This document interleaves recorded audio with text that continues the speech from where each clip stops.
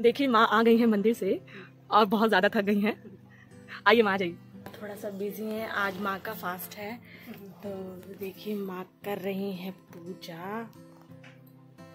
तो माँ देखिए हमारी माँ आपसे मिलने आ गई हैं। बिल्कुल तैयार हैं और माँ बहुत अच्छी है अच्छी। हाँ।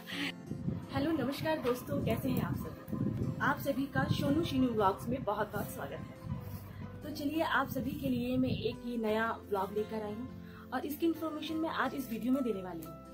जैसे कि आप सभी लोग जानते हैं कि मैं ससुराल में हूँ और शादी के बाद काफ़ी टाइम हो गया था, हम लोगों ने घर में टाइम स्पेंड नहीं किया था। तो आपको हमारी जर्नी की वीडियो जल्द से जल्द मिलने वाली है, जल्द से जल्द मिल जाएगी। तो उसको भी आप देखना ना भूलें। और आपको बताना चाहूँगी, फ़िलहाल अभी माँ घर पे नहीं है और माँ गई है मंदिर। तो जैसे ही माँ आती हैं तो मैं आपको माँ से ज़रूर मिलवाने वाली हूँ। तो इस वीडियो में ऐसे ही बने रहें और अभी तक अगर आपने हमारे चैनल को सब्सक्राइब नहीं किया है तो जल्दी से कर लीजिए। तो चलिए फिर शुरू करते हैं। तो वीडियो का पर्पज ऐसा है कि जैसे कि आप सभी जानते हैं थंबनेल में क्या लिखा हुआ है? तो थंबनेल में लिखा हुआ है कि सावित्री व्रत आने वाला है। तो ये मेरा शादी के बाद सावित्री व्रत है और मुझे बहुत ज़्यादा एक्साइटेड एक्साइटमेंट है।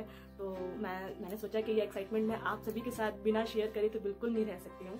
तो तो मैंने सोचा ये छोटा सा ब्लॉग आपके लिए बना दूँ।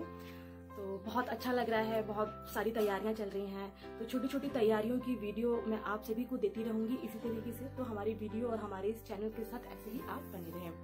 तो अभी पता नहीं चल रहा है कि अभी हमको सामान क्या क्या खरीदना है।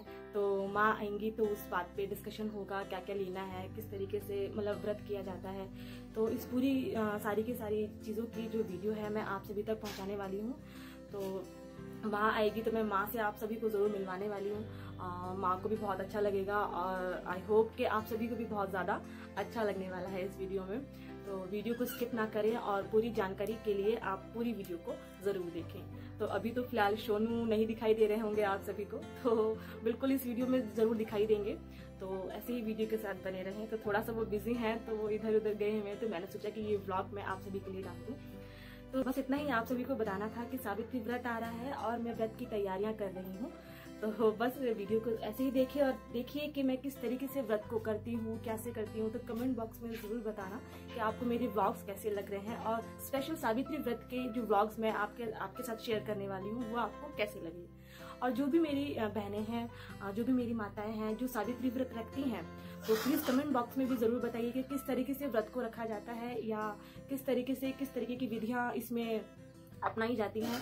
तो फ़िलहाल अभी तो मेरी सासू माँ जी आएँगी, तब हम उनसे बात करेंगे और इस वीडियो में प्लीज़ ऐसे ही बने रहें। और जल्दी से सब्सक्राइब करो बेल आइकन को प्रेस कर दो, ताकि मेरी सारी वीडियो की नोटिफिकेशंस आप सभी को मिलती रहे।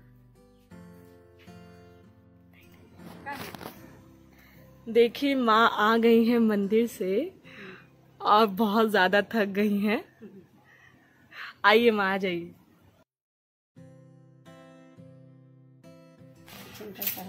माँ काम कर रही हैं। माँ कभी इधर जा रही हैं, कभी उधर जा रही हैं।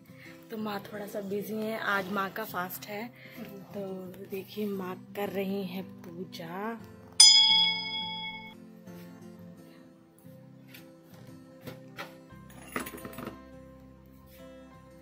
तो माँ, देखिए हमारी माँ आपसे मिलने आ गई हैं, बिल्कुल तैयार हैं और माँ बहुत ज़्यादा थकी हुई दिखाई दे रही हैं।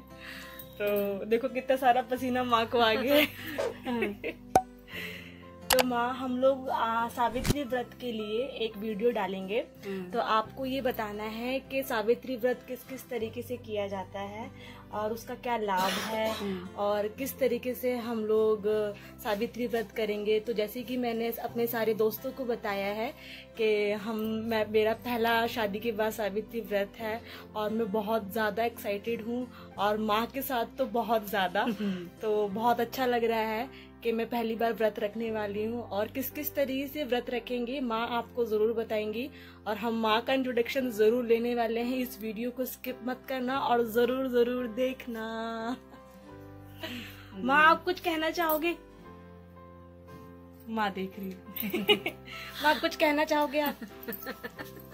बहुत अच्छी है बहुत अच्छी। हाँ हाँ चलो ठीक है। ठीक है। ठीक है। Bye bye bye